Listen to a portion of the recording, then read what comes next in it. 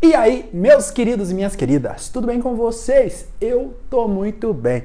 No vídeo de hoje eu vou demonstrar como seria se as comidas fossem pessoas. Tá curioso? Então deixa o play rolar e vem comigo. E antes de começar o vídeo, não se esqueça de se inscrever no canal e entrar no nosso site, porque lá tem várias receitas deliciosas para vocês. Ah, também é importante mandar esse vídeo para um amigo. Então, chega de enrolação e vamos pro vídeo. Oi, tudo bem? Tudo. Nossa, hoje o dia tá maravilhoso, lindo.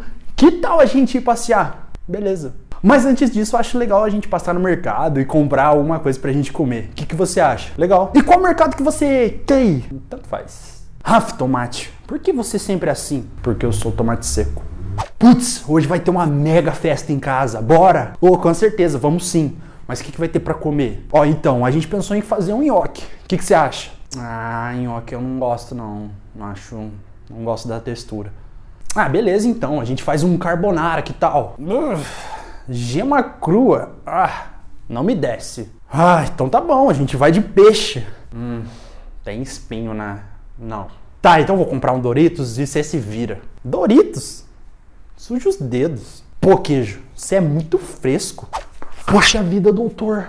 Eu não sei mais o que eu faço com minha filha. Ela não para de comer um minuto. Bom, é, pelo que eu vi, ela tem um pouco de compulsão alimentar e isso causa um transtorno na vida dela, que ela não consegue deixar de comer. Mas o que, que eu faço, doutor? É, a gente vai ter que dar uma série de é, remédios e vai ter que internar ela. Você escutou, né, Golda? E aí, meu irmão? Salve, salve! Tudo certo aí com você, parceiro? Tranquilão, de boa. E aí, o que, que você vai armar hoje, meu parça?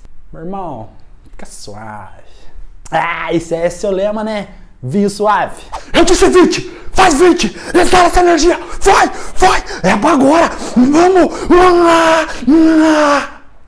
Vir! Dá tudo! Dá tudo! Uh, double biceps! O uso de suco termogênico é contraindicado em caso suspeito de dengue.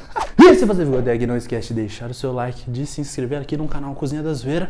Não esquece de comentar aí qual alimento que faltou.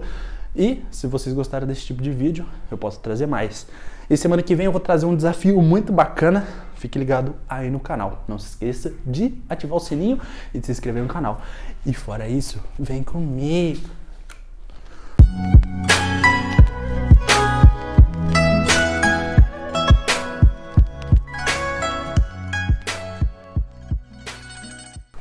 puta bobagem.